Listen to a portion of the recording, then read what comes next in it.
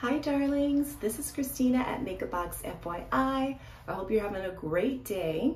I have a fall treat.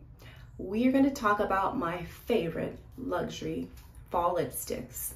I have a lot, so I'm going to have to break them down into colors, but I hope that you guys like this. And without further ado, let's get into it. Okay, so today I did a very this is not easy look. It's a little bit glam, but this is from the Mediterranean palette. I felt like I just wanted to get into those mm, yummy fall vibe colors. So I thought it would go really good with the lipsticks. It may be a lot for some of them, but I digress. We're gonna go from like standard lipsticks to mattes because that's gonna be a lot harder to remove. So we're gonna start with browns first. The first brown I wanna show you is from last year. This is from the Rouge Allure Velvet line. This is Terres d'Etoules, and it had, it was part of a, I wanted, was it the Lions collection? It wasn't the Lions collection, but it was from last year. And it's that, you know, pop option.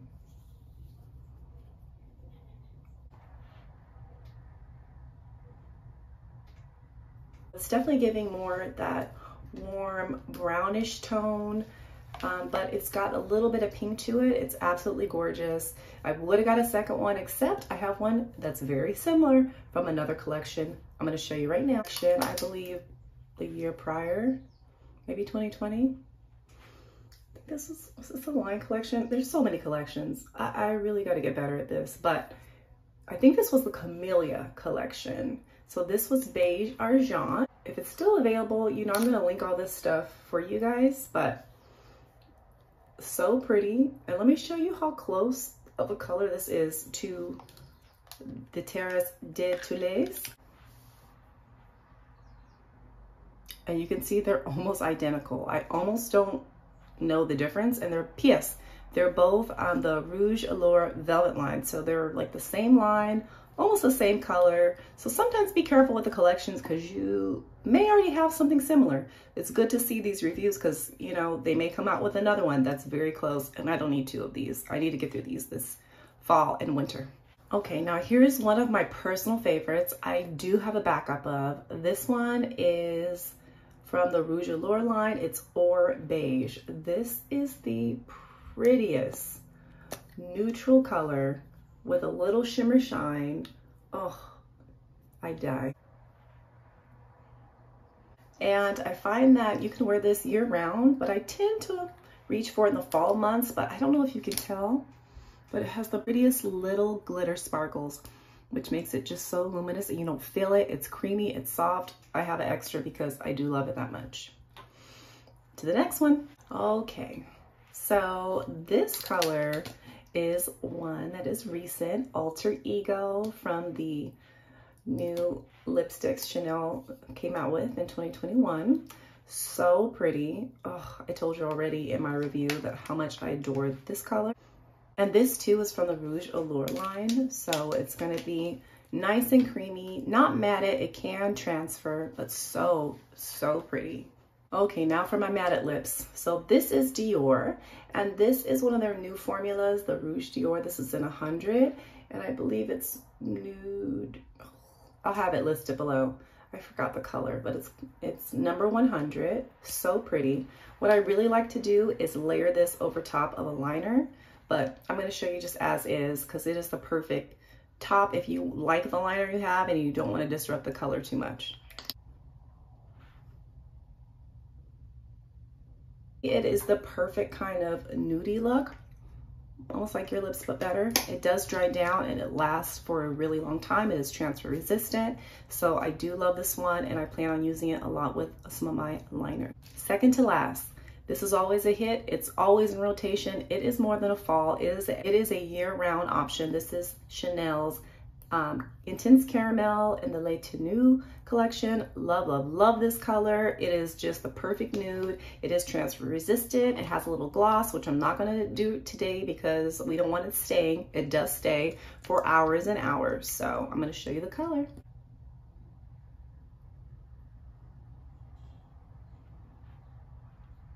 It is always in rotation. but it is such a lovely color. I had to put it in there because it really is fabulous. And last but not least for the browns is going to be mm, Rouge, the Rouge Dior Forever 200.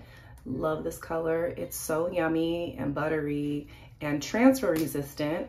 I love it so much. I do want another color. I think I want Forever Paris. So when I have to replenish some things, I'm gonna go on the Dior website specifically.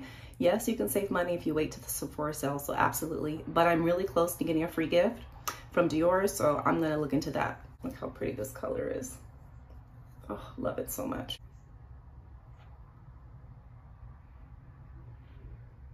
This is another really pretty nude color. And it smells a little bit like candy, this one. Um, that's the only thing I noticed. But I love all these lipsticks because you really don't need liners unless you just want to stabilize, you know, the top portion here. And I have a few that I'll show you that I typically rotate through depending on the color. But this is the last brown. It's gorgeous. And let's get to the next pinks. In between the cleans, I'm using my Intense I know it is a eye remover, but eye makeup remover, but I use it for lips too. It helps get it off really fast. And then I'm just doing this thing here to try to get the colors back to normal around my lips. Of course, we have to talk about um, Demi. It is so pretty. This is the new Chanel Fall Collection 196. I have been wearing this so much, getting a lot of use out of it. Probably gonna have to get a second one that's how much I love it.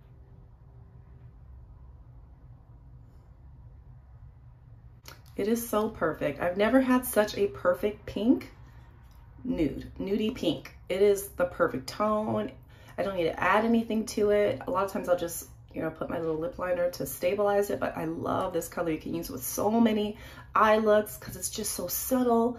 Oh, I can't, I just love this color so much. This is also in the Rouge Allure line, so it is not transfer resistant, but it's beautiful. This is from a different collection, um, that Star collection. Once again, I'll have to look at it. But another pretty pinky color. This is called Boy, Boy de Rose Astral. Uh, it's really pretty too. This is from the Rouge Allure Velvet, so this is gonna be a little more of a matted kind of lipstick. love this color. It's such a pretty pinky ugh, color. The only thing about these allures that they do transfer. So for work, since I'm in the healthcare and I still have to wear a mask, it is pretty tough um, to wear these because then I take the mask off when they're everywhere. So sometimes I have to have like different alternatives to these colors. And in this case, I'm thinking the the Christian Dior Forever Paris is going to be very similar in a matted form. And so I think I want to get it, but I haven't got it yet, but I'll do a comparison when I do. I have 192 Chanel Profond, um, sorry, Profondeur. And this is always like part of their collection unless they decide to discontinue, like you know they do. It is a beautiful color. It's like a pinky. So it's almost like a pinky brownie color when I look at it. No, I don't know. I don't know if I'd say brown, but it's like a pretty, it's a pretty pink, but it has some rich rustic tones to it, almost like a, I don't want to say pink terracotta, but it's giving me some of those vibes. Okay, so now we have one of the richest prettiest deep pinks that I do own from Chanel. And this is in the Rouge Allure Velvet Extreme. So this one actually has a little more grip. It's a little thicker to put on than their Rouge Allure Velvet. This is supposed to be a lot more matted. It is so pretty, so rich and creamy. I can't wait to show you.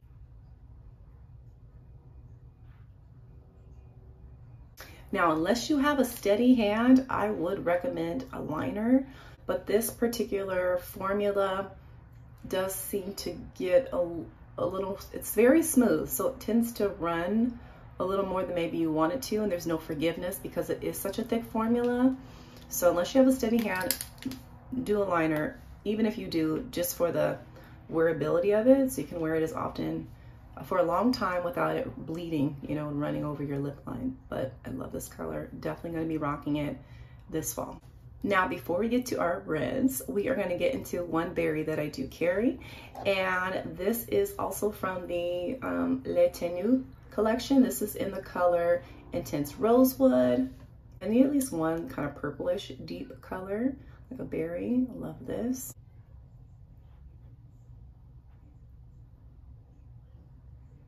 So I love this color. It is such a pretty, pretty, pretty, you know, berry color and it does dry down. So I'm not gonna let it sit too long. Um, you put the gloss over top, transfer resistant. It is an awesome color. Love it so much. Now we're down to the reds. I only have three. I don't rock red too much except for like on a few occasions. So I don't collect them as much, but I do have, I have one in like three different color options. Let's first do the transitional red because this was not is not a traditional red and I actually thought it was going to be more um, berry than red, but the website kind of fooled me. So this is the Dior, the Rouge Dior 720 Velvet Icon. This was one of our newer releases. It was like a Mother's Day collection and it has all those beautiful flowers on it. Um, so it is very pretty. And I probably almost should have put this in the pink option, but like I said, transitional color. But as you can see, this really does lean more reddish to me, which was deceiving because the images online looked like pink. And I did a comparison between this one and the Chanel Profondeur. Um, same similar kind of textures. They're like mattes, very creamy, very buttery. I love it. I haven't really used it because like I said, it's giving me red vibes. So plan on using it this year because it's a nice toned down red. Yeah, I think that's what I'm gonna say. Okay, this is the prettiest Gucci lipstick that I do own. Look at this. Oh, I know I got this in 2020. I think this is part of their normal line. Maybe not, because it is kind of um, fancy. But this is from the Rouge Allure Lunaison in color 511. And this is called Madge Red. This is so pretty. Let me show you. Let me show you the beauty of Madge Red. Do you see that sparkle? I hope it's the light is catching it. I feel like it's not doing it justice. Do you see it? Oh, I can't. It is so freaking beautiful. And as beautiful as it is on the stick, it is on the lips.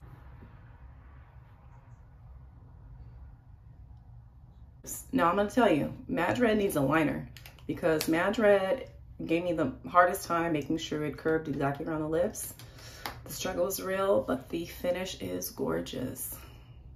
So our last red is coming. Okay, and this is from the Chanel Ultra Tenue. I swear I had like at least six of these at one point because you know, me wearing masks all the time, this was just the perfect. And I'm the kind where when I go to work, I don't care what the reason, I don't care what pandemic, I'm wearing makeup because it was the thing that just really gave me joy. So yeah, so I wore these a lot. I came to love them, so I still collect them, I still love them. So this color is the Passionate Red, and I'm gonna show you.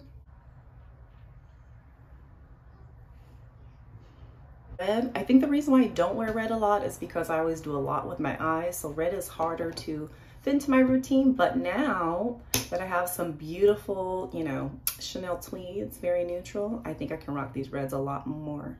All right, darling. So that is my whole collection of fall, I want to say fall winter um, looks and lipsticks, fall lipsticks that are my favorites that I do plan to pull out put this in my rotation kit and start rocking them, taking out my bright pinks and bright corals, and it's time for fall. So I hope that you guys enjoy this. I hope this helped. I'll link everything down below. Um, if it's not available, I'm just gonna note that, but hopefully most of them are. All right, darlings, I hope you have a fantastic week and I'll catch you in the next one.